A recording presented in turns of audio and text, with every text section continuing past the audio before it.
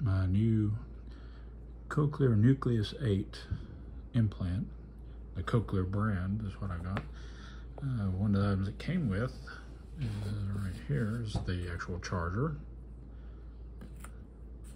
I have the one in the implant that I'm using now, and then it comes with two. Just like that. I always say it lights up, lets you know when it's charging and fully charged.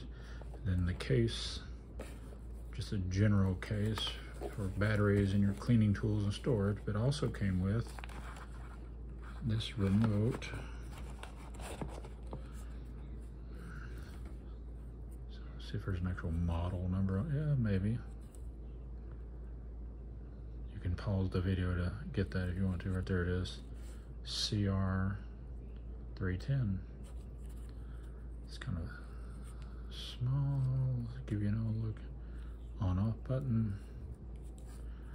But that's to, you can change the programs on it or in the volume. So you can keep that in your pocket so you don't have to keep reaching up to your implant to do the change. Keep that kind of discreetly in your pocket and change it.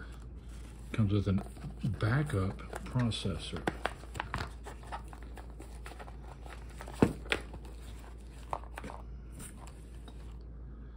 So, in case mine, something reason mine quits working or I need to go to warranty work, uh, you always, you have a backup processor.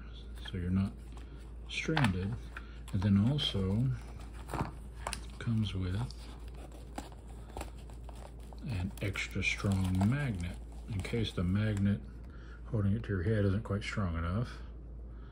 There's one, it's extra strong. I don't know what the strength rating is, but obviously instructions on how to change out your magnet, how to train your dragon.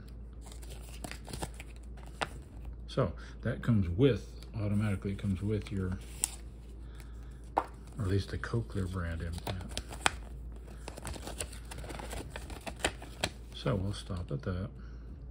Oops, upside down like it matters. Okay, so that's some of the little things that comes with your cochlear nucleus 8 implant.